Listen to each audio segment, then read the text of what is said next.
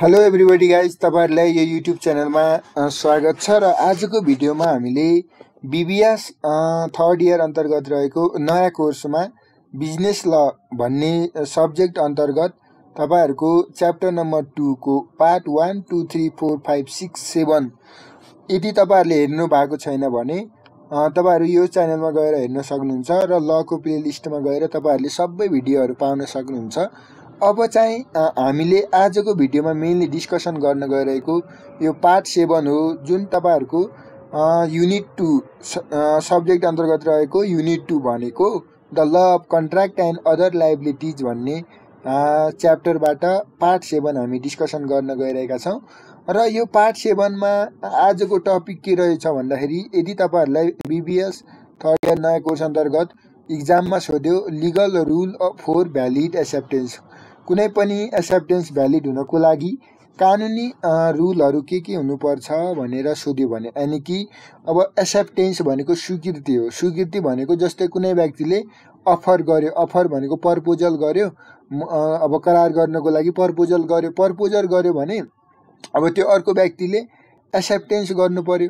हो त्यो एक्सेप्टेन्स गर्नको लागि त्यो एक्सेप्टेन्स कतिखेर कतिखेर चाहिँ भ्यालिड भएको मान्ने छ। कानुनी रूपमा यो अब के भन्छ मान्य भएको मानिने छ भन्ने कुराहरू हामी आज पढ्न गइरहेका छौँ।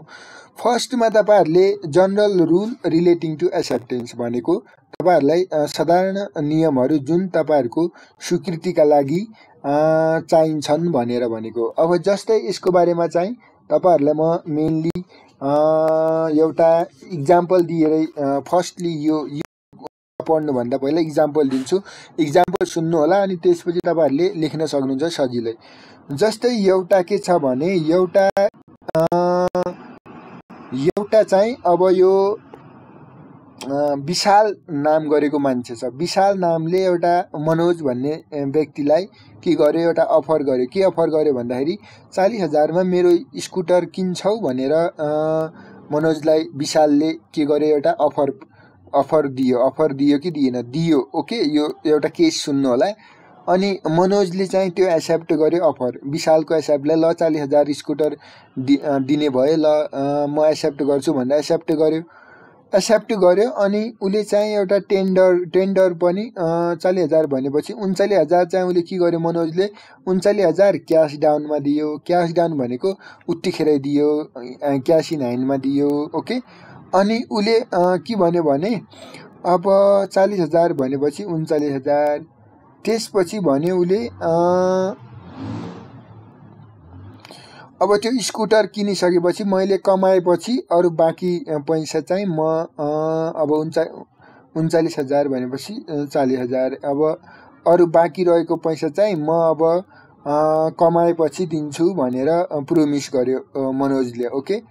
अब there is no contract okay अब त्यति यहाँ चाहिँ कन्ट्र्याक्ट नै भएन किनकि acceptance was not absolute and unqualified okay acceptance न त अब यतिखेर अब विशालले न चाहिँ अब एक्सेप्ट गर्यो न चाहिँ त्यो क्वालिफाइड भयो के ओके अब भनेपछि अब बाँकी रहेको भन्दाखेरि पनि बाँकी रहेको पछि दिन्छु भने। पछि दिँदाखेरि त अब त्यो जस्तै विशालले पनि त एक्सेप्ट गर्नु पर्यो एक्सेप्ट गरे भए चाहिँ एक्सेप्टेन्स एउटा के हुनु पर्यो? एब्सोल्युट हुन्थ्यो।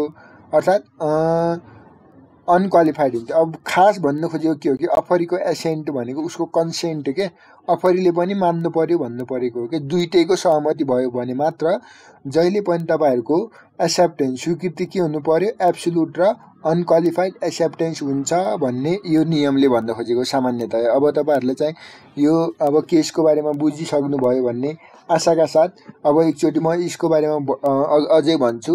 मलाई थाहा भएको कुरा जहिले पनि स्वीकृति भन्छ एक्सेप्टेन्स एक्सेप्टेन्स जहिले पनि एब्सोल्युट र अनकन्डिसनल यानि कि केही केही कन्डिसनहरू नराखेको हुनु पर्यो। अनकन्डिसनल हुनु पर्यो एक्सेप्टेन्स जहिले पनि। अघि अघि चाहिँ अब यो केसमा चालि विशालले मनोजलाई चालिस हजारको के दियो भन्दाखेरि तपाईँहरूको स्कुटर बेच्यो अनि चालिस हजारको स्कुटर दिँदाखेरि उन्चालिस हजार उतिखेर दियो क्यासमा अनि बाँकी रहेको एमाउन्ट म कमाएपछि दिन्छु भन्यो। कमाएपछि दिन्छु भन्दाखेरि अब त्यसमा चाहिँ त्यो मनोजले कन्डिसन राखिदियो नि त। जहिले पनि अब कन्डिसन राख्यो भने फेरि त्यो कन्डिसन चाहिँ एब्सोल्युट भयो भने है एब्सोल्युट भयो भने अनि त्यो विशालले अघि चाहिँ एक्सेप्ट गरिदिया भए चाहिँ त्यो के हुने थियो तपाईँहरूको एक्सेप्टेन्स भ्यालिड नै हुन्थ्यो। तर अब उसले नै एक्सेप्ट नै गरेन त्यस कारणले भन्न खोजेको अब चाहिँ तपाईँहरूको अनकन्डिसनल हुनु पऱ्यो ल लिगल्ली इफेक्टिभनेस हुनु पऱ्यो तर तपाईँहरूको अब एक्सेप्टेन्स जहिले पनि एब्सोल्युट र अनकन्डिसनल एक्सेप्टेन्स हुनु पऱ्यो के का लागि भन्दाखेरि अफर अफर गर्दाखेरि सबै त टर्म एन्ड कन्डिसनहरू अवस्थाहरू हेरेर जहिले पनि अनकन्डिसन हुनु पऱ्यो र अब केही न केही अब अलि थोरै डेभिएसन गरेर केही टर्महरूमा अफरहरू एक्सेप्टेन्स गर्यो भने त्यतिखेर चाहिँ इन्भ्यालिड हुन्छ भन्ने कानुनको नियम छ। जस्तै तपाईँहरूको अब हामीले अब काउन्टर अफर भन्ने त हामीले भन्दा अगाडिका भिडियोहरू तपाईँहरूले पढिसक्नु भयो। काउन्टर अफर भनेको एउटा कन्डिसन राखेर अफर जहिले पनि कन्डिसन हुनु परेन भन्ने नियम छ कि? एक्सेप्टेन्स कि? अब एक्सेप्टेन्स गर्दाखेरि पनि के कन्डिसन राख्ने हो र भन्न खोजेको नियममा ओके? हो यति बुझ्नुभयो भने अब यसको हेर्नु होला। The offeree should as assent okay? The offeree should assent to all the term of offer okay? भनेको अफरका हरेक टर्मको बारेमा अफरी भनेको जो व्यक्तिले अफर एक्सेप्ट गर्छ ऊ चाहिँ एसेन्ट भनेको त्यसको बारेमा जानकारी हुनु पर्यो। There must be no variation reservation र त्यसमा कुनै भेरिएसन अथवा रिजर्भेसनहरू राखेको हुनु हुनु भएन। जहिले पनि एक्सेप्टेन्स भनेको अनकन्डिसनल हुनुपर्छ भनेर तपाईँहरूले बुझ्नुभयो पहिलो नम्बरको टपिक अब यसको दोस्रो नम्बर हेर्नुहोला। Acceptance must be communicated okay अब यो चाहिँ ध्यानपूर्वक सुन्नु होला एक्सेप्टेन्स जहिले पनि कम्युनिकेटेड हुनु पर्यो ओके एक्सेप्टेन्स जहिले पनि कम्युनिकेटेड हुनु पर्यो भन्छ। अब कम्युनिकेट कम्युनिकेसन अफ एक्सेप्टेन्सको बारेमा सुनौँ है। दुईमा चाहिँ तपाईँहरूले चाहिँ एउटा यसको बारेमा पनि म एउटा अब सानो इक्जाम्पल दिन्छु। जस्तै तपाईँहरूले अब एउटा हाम्रो अन्तर्राष्ट्रिय केस स्टडी थियो। ब्रोकडन भर्सिस मेट्रोपोलिटियन रेलवे कम्पनीको बिचमा केस स्टडी थियो। त्यो केस स्टडी सुन्ने मात्र हो तपाईँहरूले। अब त्यो केस स्टडीलाई एक्सेप्ट गरेर म यसको सार के हो? सार चाहिँ अर्थात् यसको तात्पर्य म तपाईँहरूलाई चाहिँ भनौँला। जस्तै एउटा तपाईँहरूको रेलवे कम्पनी थियो है। अब रेलवे कम्पनी थियो भने एउटा अब सप्लायरले के भन्यो? सप्लाई को कोइलहरू सप्लाई गर्नको लागि रेलवे कम्पनीलाई अफर गर्यो। अफर गर्यो भने अब त्यो रेलवे कम्पनीको म्यानेजरले चाहिँ त्यो अफरलाई एक्सेप्ट एक्सेप्ट गर्यो स्वीकार गर्यो। स्वीकार गर्यो अनि उसले के भन्छ स्वीकार गरेर चाहिँ उसले अब त्यो ल्याउनुहोस् भनेर एउटा एसेन्ट चाहिँ ड्र गर्यो। ड्र गर्यो भन्दाखेरि अब त्यो साइन साइन हान्यो होला नि त।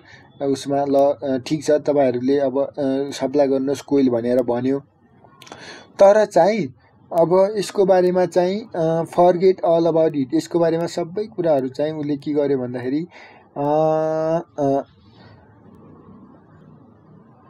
बिर्स्यो। के बिर्स्यो भन्दाखेरि अब त्यो कन्ट्याक्टमा हरेक कुराहरू लेख्नको लागि उसले बिर्स्यो। खालि यत्तिकै मुखले चाहिँ भन्यो ओके एक्सेप्टेन्स गर्यो। अब यो चाहिँ एक्सेप्टेन्स गर्यो भने त्यतिखेर त अब ती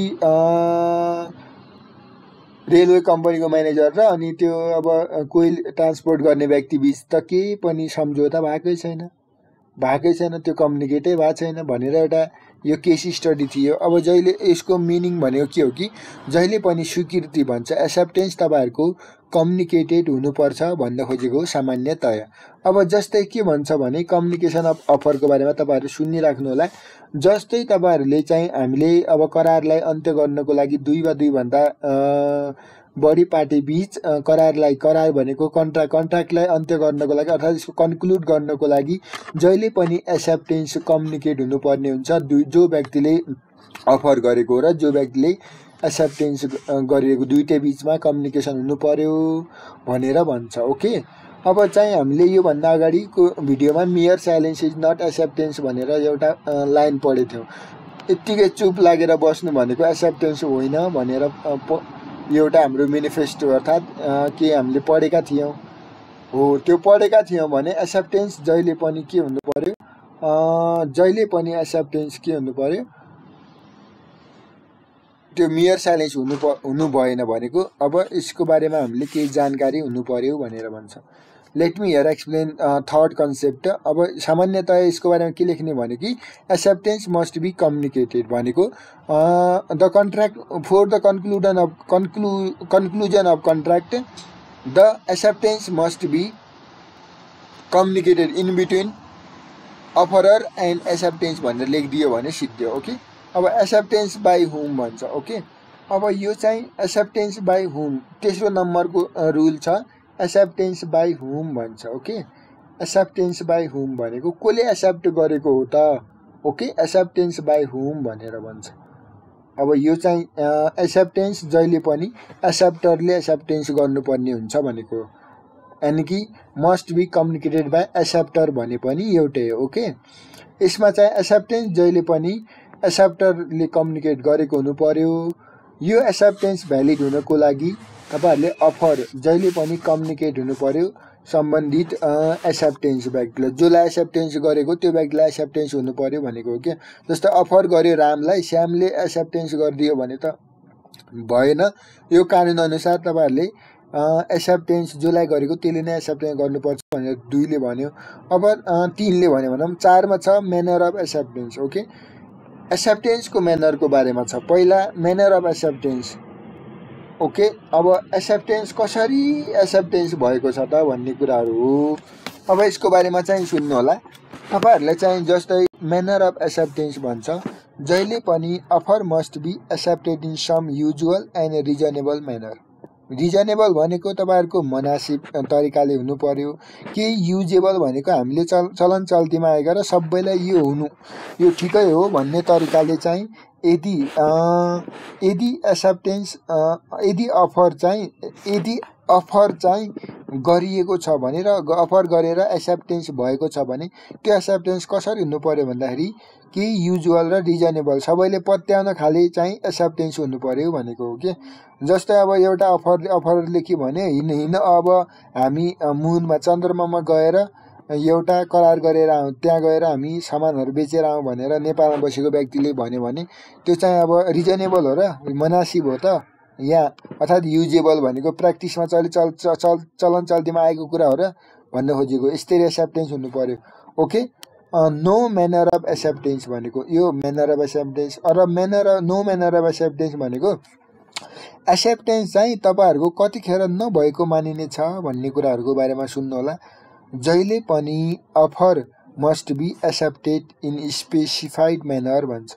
जहिले पनि अफर कतिखेर स्पे एक्सेप्टेड भएको मान्ने छ भने स्पेसिफाइड भनेको तोकिएको सम्बन्धित तोकिएको निश्चित जो कुरालाई हामीले एक्सेप्टेन्स गर्न खोजे अफर गर्न खोजेको त्यो चाहिँ त्यही तरिकाले एक्सेप्टेन्स भएको हुनुपर्छ भनेर भन्छ।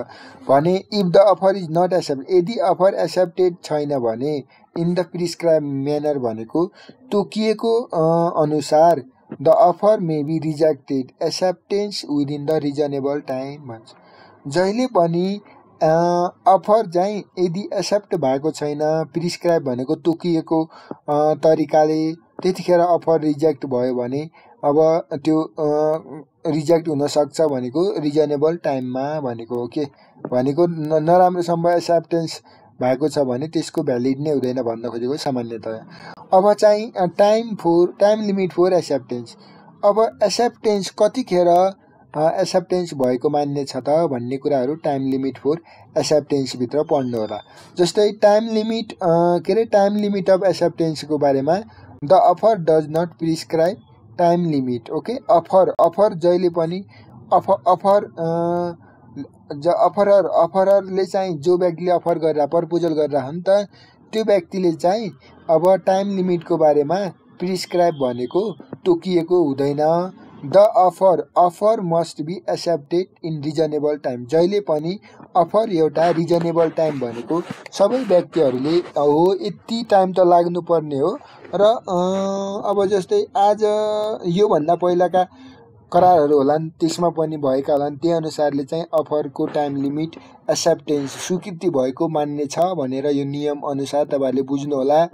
The offer must be accepted within prescribe time जहिले पनि अफर प्रिस्क्राइब तोकिएको टाइममा एक्सेप्ट हुनुपर्छ भनेर यो कानुनले भनेको छ। ओके अब यसको बारेमा अझै तपाईँहरू बुझ्न चाहनुहुन्छ भने यदि तपाईँहरूलाई चाहिँ टाइम लिमिट फोर एक्सेप्टेन्सको बारेमा बुझ्नु छ भने टाइम लिमिट फर एक्सेप्टेन्सको बारेमा बुझ्नु छ भने टाइम अफ एक्सेप्टेन्सको बारेमा बुझ्नु छ भने के भन्छ भने जस्तै यसको बारेमा पनि अब तपाईँहरूलाई म एउटा केस स्टडी भन्दाखेरि पनि उस्तै सुन्न सुन्नु होला तपाईँहरूले। जस्तै कुनै पनि अब एक्सेप्टेन्स कानुनी रूपमा एउटा मान्य हुनको लागि कुनै पनि स्वीकृति का नेपालीमा सुन्नु होला कुनै पनि स्वीकृति यदि कानुनी रूपमा मान्य हुनको लागि उसलाई हामीले तोकिए बमोजिमको टाइम समय अवधिमा। यदि त्यो हुन्छ भने ठिक छ यदि हुँदैन भने त्यो तोकिएको अब टाइम चाहिँ तोकिएको छैन भने अब यो करार हुनको लागि टाइम तोकिएको छैन भने रिजनेबल टाइममा चाहिँ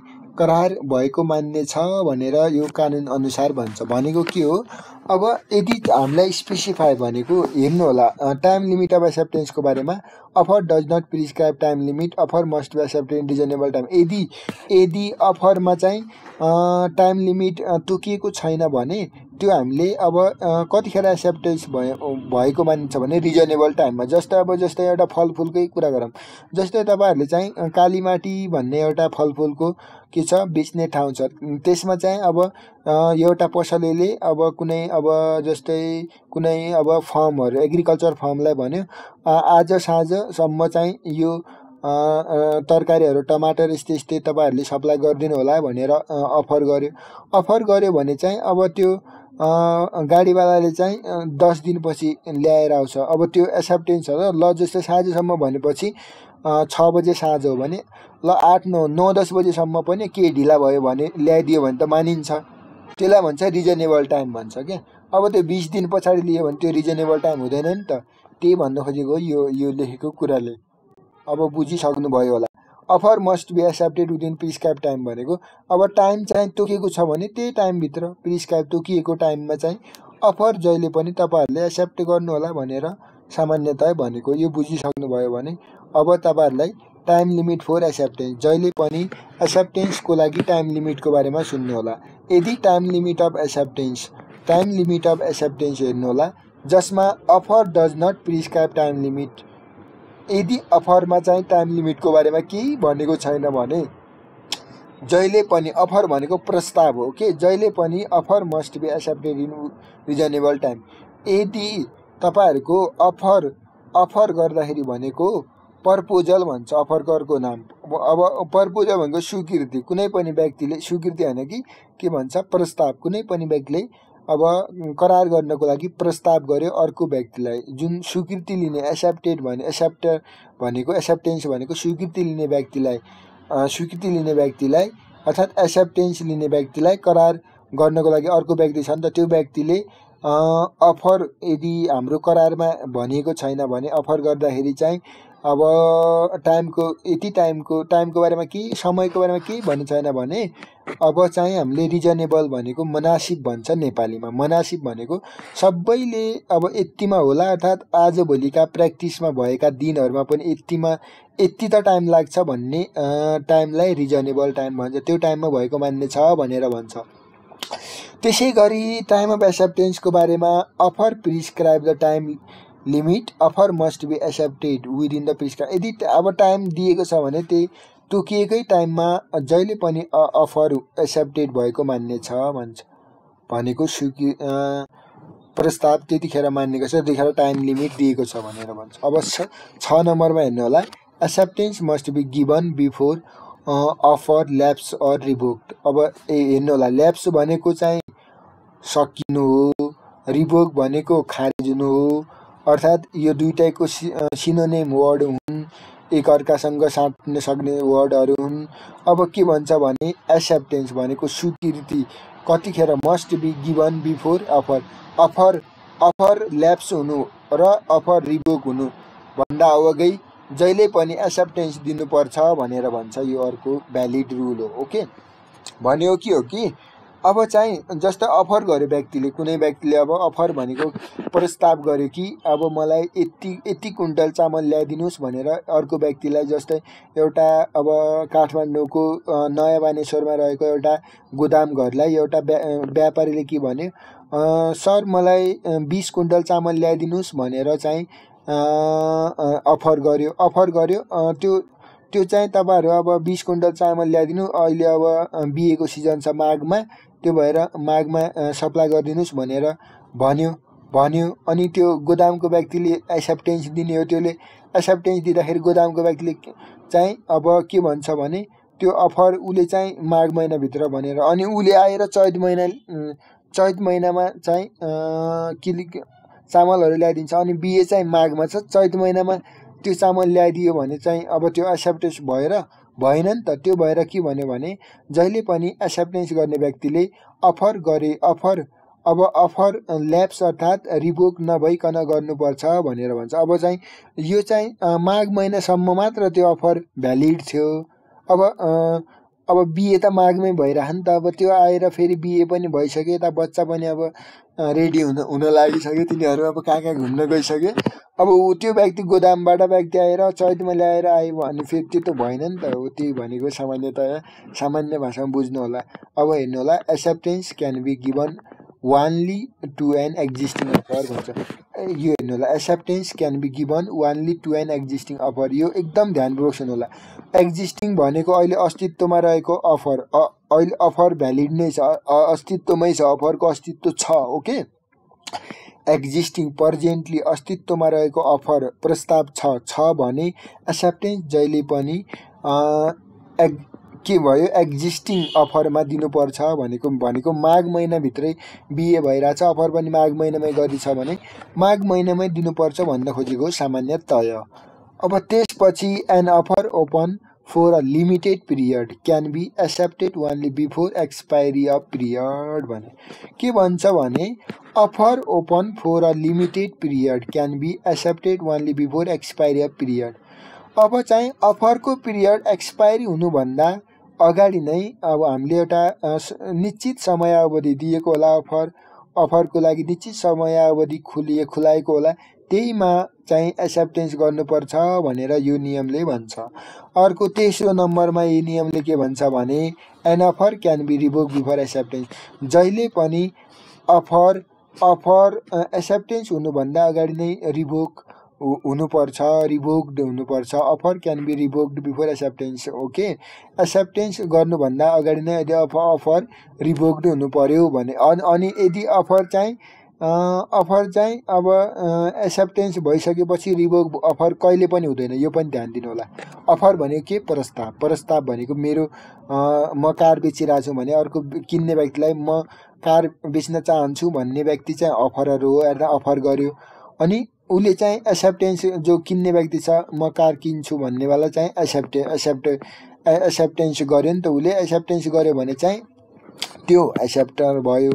अब चाहिँ के भन्छ भने रिबुक अफर प्रस्ताव कहिले खारिज भएको मानिन्छ भने यदि अब एक्सेप्टेन्सले अब स्वीकृति गर्नुभन्दा अवगै उसले चाहिँ एक्सेप्टेन्स रिभोक भएको हो भनेर अगाडि नै रिभोक गर्न सक्छ भनेको okay acceptance is not valid if it is given after offer is lapsed or revoked okay अब एक्सेप्टेन्स कतिखेर भ्यालिड भएको मान्ने छैन भने यदि अब अफर चाहिँ ल्याप्स भइसक्यो रिभोक भइसक्यो भनेको अब यो केस कस्तो हो कि अब मैले अफर गरेँ कार बेच्नको लागि भने अब एक्सेप्टेन्स भएकै छैन भने मैले चाहिँ क्यान्सल गरिदिएँ अर्को व्यक्तिलाई कार बेचिदिएँ भने अब त्यो एसे एक्सेप्टर ल्याएर म म एक्सेप्टेन्स गर्छु भनेर भन्न चाहन्छ भने त्यो चाहिँ अब भ्यालिड हुँदैन भन्छ। त्यो अब भइसक्यो अफर नै क्यान्सल भइसक्यो भने एक्सेप्टेन्स कहाँबाट हुन्छ? यसको बारेमा अहिले यो यति राम्रो एउटा केस स्टडी पनि तपाईँहरूलाई सुनाउँछु म।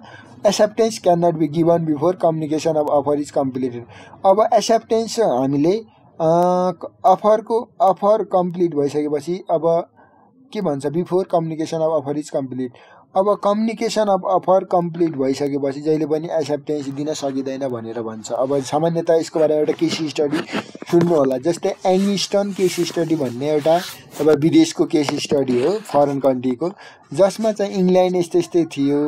सायद म कन्ट्रीको बारेमा खासै एक्ज्याक्ट भएन र केस स्टडी सुन्नु होला।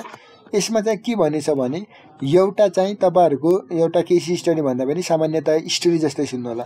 जस्तै एउटा train what a gun gun fire on a train bomb blast भन्ने एउटा लाइन हो। यो भनेको के हो? यदि चलिरहेको ट्रेन छ भने ट्रेनमा चाहिँ तपाईँहरूले मार्चिस मार म्याच बक्स हुन्छ नि त सलाइ मार्चिस भनेको सलाइ के त्यो सलाइको सलाइ जलाएर अनि त्यो चलिरहेको ट्रेनमा हानिदिनुहुन्छ भने त्यो अब जस्तै अब यदि सा साइन्स पढेको भन्दाखेरि पनि अब जस्तै भ्यालोसिटी भन्ने त अब सबैलाई थाहा छ।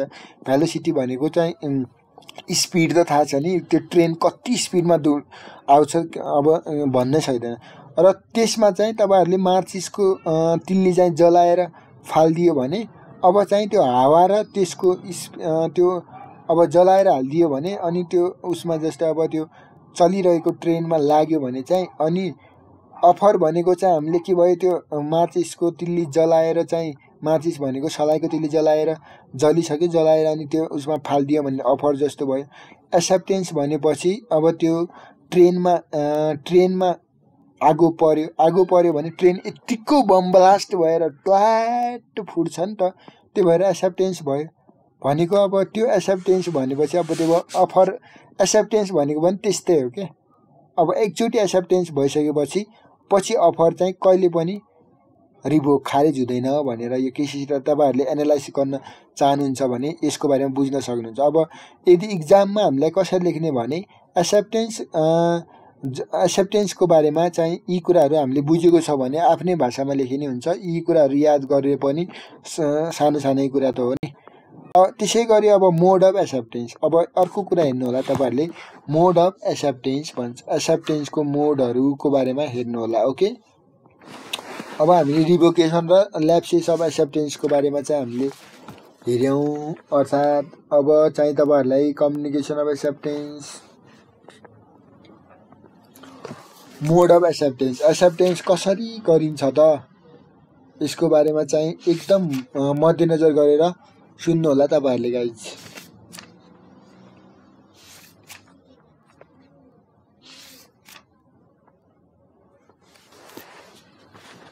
अब चाहिँ मोड अफ एक्सेप्टेन्स एक्सेप्टेन्स कसरी गरिन्छ त भनेर साथमा हेर्नु होला। बाई एनी एक्ट एन्ड एक भनेको हामीले गरेर एक्सेप्टेन्स एक्ट भने एसिटी एक्ट भनेको यहाँनिर काम गर्नुलाई भन्छ। अर्थात् बाई ओमिसन अर्थात् intending thereby to communicate to other which has effect communication it to other of other भन्छ। भनेको अब हामीले के भन्छ बाई ओमिसनको अनुसारले भनेको एउटा चाहिँ एक्टरको ओमिसनको आधारले गरि गरिँदो रहेछ मोड अब कम्युनिकेसन एक्सेप्टेन्स रिभोकेसन भनेर हामी अर्को भिडियोमा पढाउँला। यो च्याप्टरको लागि र म तपाईँहरूलाई डिटेल्ली चाहिँ यो भिडियोहरू बनाइरहेको त्यो भएर एकजनासँग नजिक चाहिँ भइराख्नु होला गाइज र आजको भिडियोमा हामीले के पढेको भन्दाखेरि legal rule for valid acceptance legal rule for valid accept valid acceptance हुनको लागि कानुनी रुलहरू के हुन् यसलाई मैले यति किन दिएको भन्दाखेरि हामीलाई इक्जाममा सोध्यो भने यी कारणहरू सोध्छ ओके? यो क्वेसनमा हामीलाई सोध्छ legal rule for valid acceptance भने तपाईँहरूले टियुको क्वेसनहरू हेरेको हो भने तपाईँहरूले धेरैभन्दा धेरै पटक यो क्वेसन पाउन सक्नुहुन्छ फाइभ या टेन मार्क्समा ओके गाइज यो भन्छ भने सामान्यतया तपाईँहरूलाई एक्सेप्टेन्स हुनुको के के हुनु पऱ्यो भन्दाखेरि जहिले पनि एब्सोल्युट र अनक्वालिफाइड एक्सेप्टेन्स हुनु पऱ्यो एक्सेप्टरको एसेन्ट हुनु पऱ्यो अफरीको एसेन्ट र एक्सेप्टर एसेन्ट दुइटैको मिलेको हुनु पऱ्यो र यसमा कुनै पनि कन्डिसन हुनु पऱ्यो र काउन्टर अफर पनि भएको हुनु परेन भन्छ। दुईले के भन्छ भने एक्सेप्टेन्स जहिले पनि कम्युनिकेटेड हुनु पऱ्यो भनेको।